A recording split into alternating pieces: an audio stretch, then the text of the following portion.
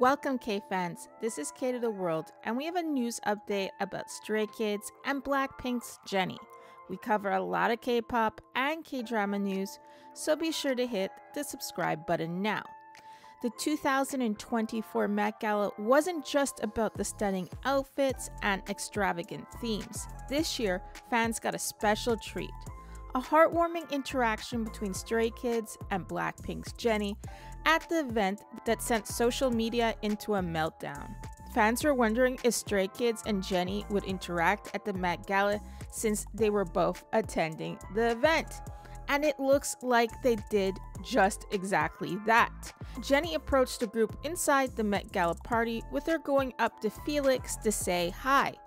The interaction was photographed with Felix looking charming in his suit, while Jennie looked radiant in her blue gown. Afterwards, Stray Kids and Jennie even took the time to pose together for a picture inside the event. In the photo, Jennie has an intense look while she stands center in the shot while the Stray Kids pose behind her. What do you think of the interaction between Stray Kids and Jennie at the Met Gala? Let us know in the comments section below. And as always, don't forget to hit the subscribe button to keep up to date with K to the World news. Thanks for watching.